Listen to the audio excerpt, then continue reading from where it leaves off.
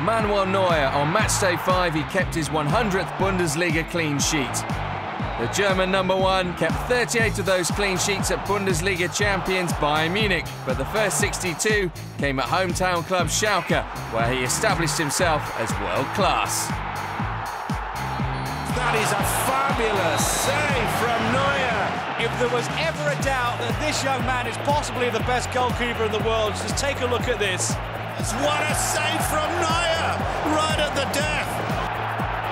In becoming a world-class goalkeeper, Neuer hasn't always been conventional in his goalkeeping methods.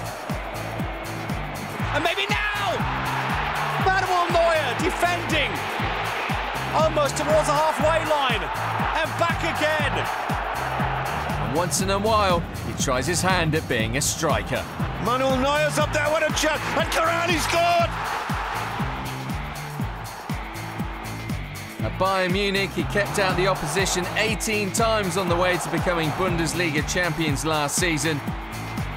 Manuel Neuer, part of the Bundesliga 100 club, will 101 come against old club Schalke this weekend.